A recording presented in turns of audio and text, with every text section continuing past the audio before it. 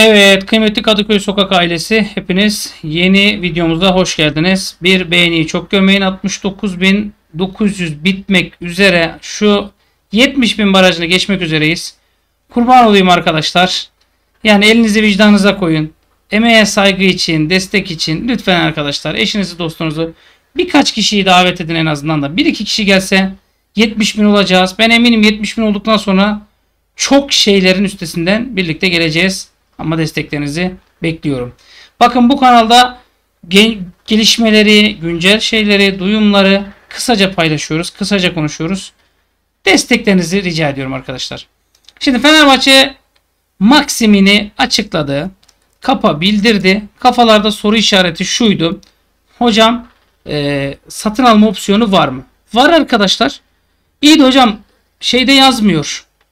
Yani orada belirtmemişler. Nasıl oluyor? Arkadaşlar var. Yani açık söyleyeyim var. Satın alma opsiyonu var. Hocam 8 milyon euro vermişiz. Sence çok değil mi? Şimdi 8 milyon euro kime göre çok? Kime göre az? Arkadaşlar oyuncuya eğer maaş olarak 8 milyon euro verseydik. Bakın maaş olarak yani eline geçireceği para 8 milyon euro olsaydı aslında bu 12 milyon euro civarında bir paraydı. Çünkü vergisinin algısıyla bu artacaktı. Ancak 8 milyon euro kiralama bedeli olunca vergi algı cartçurt yok. Bilginiz olsun. Satın alma opsiyonuna gelince de arkadaşlar oyuncunun yıllık ücreti çok yüksek. Maliyeti çok yüksek ve biz maaşını oraya ödet, ödet, ödetiyoruz falan dedik. Hayırlısı olsun. Ama satın alma opsiyonu var. Günün maçı Fenerbahçe Hull City ile Fenerbahçe Acun Ilıcalı'nın sahibi olduğu Hull City takımıyla bugün özel maçta karşı karşıya gelecek. Ve bu maçtan sonra Fenerbahçe artık ilk resmi maçına çıkacak.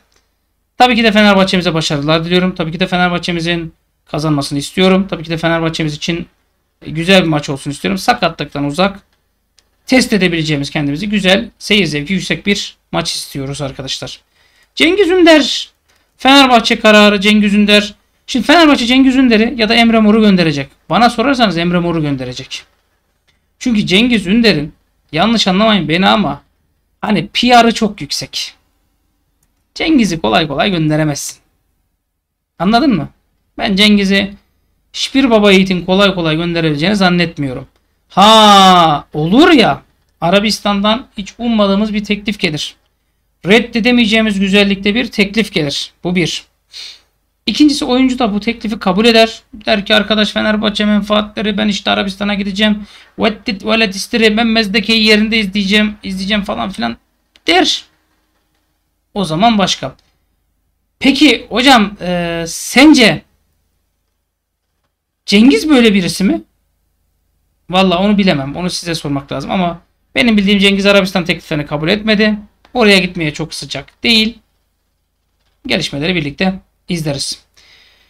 Yusuf En-Nesiri Fenerbahçe. Son durum.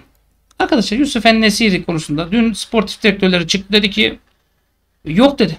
Yani Viktor Orta dedi ki teklif meklif yok dedi Roma'dan. Adam açık açık Roma'dan teklif yok dedi. Ulan vicdansız madem Roma'dan teklif yok da o zaman bunun menajeri bizi niye kekliyor diye Fenerbahçe yönetimi de derin soruların içine girmeye başladı.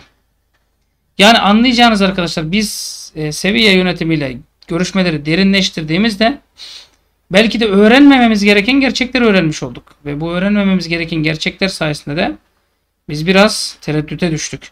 Çünkü arkadaşlar bakın bu işlerde dolandırma çok kolay olur. Hani aklınızda bulunsun bir insan sizi dolandıracaksa çok yüksek para istemez. Çok düşük de para istemez. Ama düşüğe yakın miktarda para ister. İlk öyle dolandırır. Sonra der ki ya biraz daha bir kademe daha. Hani onu almak için bir kademe daha der. ikinci adımını atar.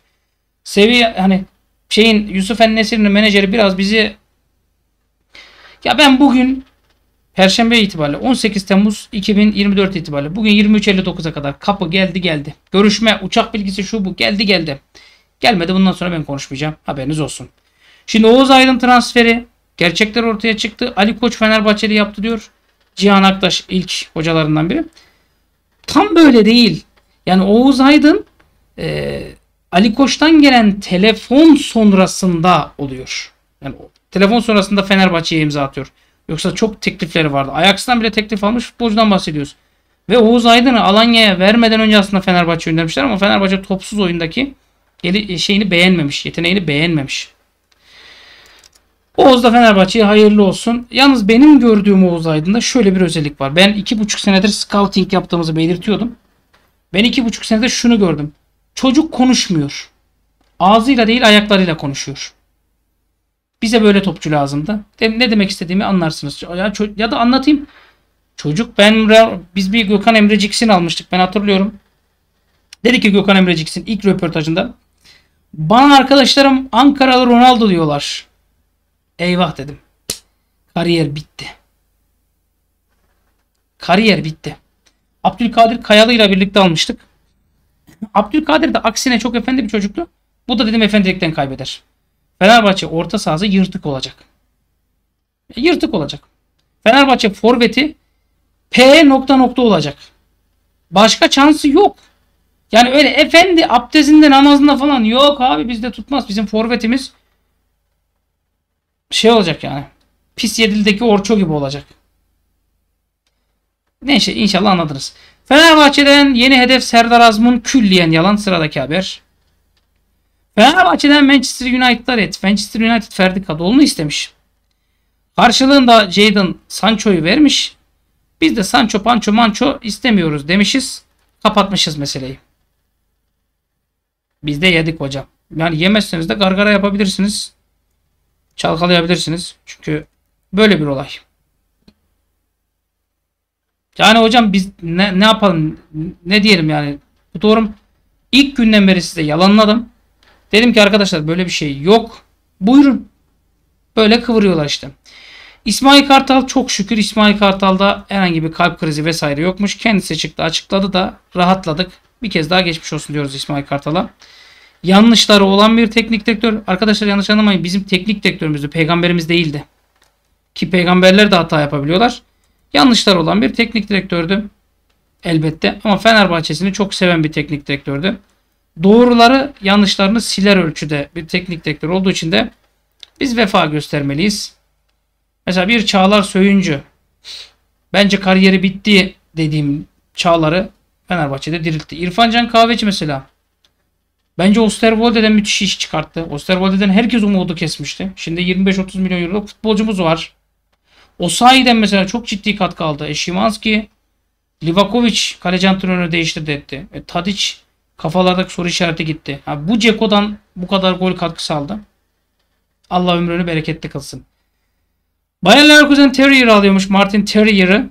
Martin Terrier bizimle ismi anılan bir oyuncuydu.